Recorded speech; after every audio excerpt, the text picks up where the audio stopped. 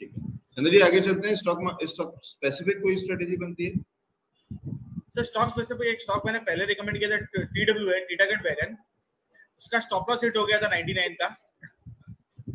अभी ये वापस बुलिश हो गया है। यहाँ पे करंट प्राइस पे इसको ऐड किया जा सकता है वापस। अच्छी तेज़ी पकड़ी है सर ये तो आज साढ़े तीन परसेंट तो आज भी तेज है पिछले कुछ दिनों से तेज़ी चल रहा है। बाज़ार कहीं भी जा रहा है और ये अलग ही जा रहा है। सर इसके अच्छे दिन लग रहे हैं। स्टॉप लॉस 99 का लगा लें। टारगेट 120 30 40 के लग रहे हैं। टाइम फ्रेम क्या ले रहे हैं sir? Sir time frame short term है।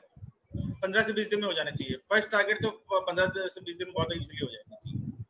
तो दो से तीन हफ़्ते में बढ़िया टारगेट और कहीं ना कहीं सर ब्रेकआउट आएगा उसके ऊपर तो और बड़ा अच्छा मोमेंटम भी मिल सकता है अगर मार्केट सेंटिमेंट थोड़ा थोड़ा सा। यस सर सर इसमें स्टेप बाय स्टेप दे रहे हैं और बड़े टारगेट बाद में अपडेट कर बाद में। ठीक है। और उसका रीजन मार्केट का जो ट्रेंड है, वो भी है। तो इसलिए कहीं हम बहुत बड़ा या बहुत दूर की बातें अभी नहीं कर रहे हैं। थोड़ा थोड़ा सा धीरे धीरे करके स्टेप बाय स्टेप काम करते चलेंगे।